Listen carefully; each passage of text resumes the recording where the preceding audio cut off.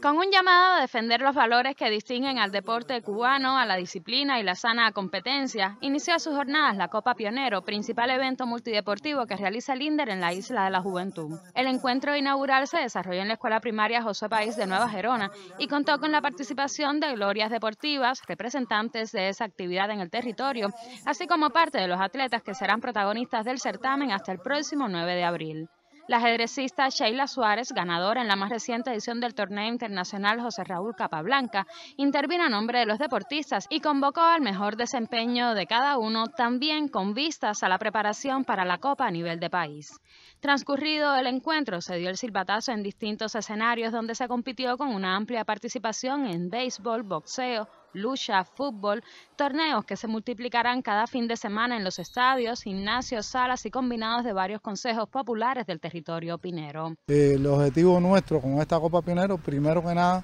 es que nuestros atletas demuestren ahí el talento, las experiencias que han ido adquiriendo a lo largo de la preparación de toda esta etapa y al mismo tiempo darle un poco de recreación a todo el pueblo pinero que bien merecido se lo merece y al final lograr conformar nosotros la preselección que nos va a representar en la Copa Pionero Nacional. María del Carmen Compagnoni, Isla Visión.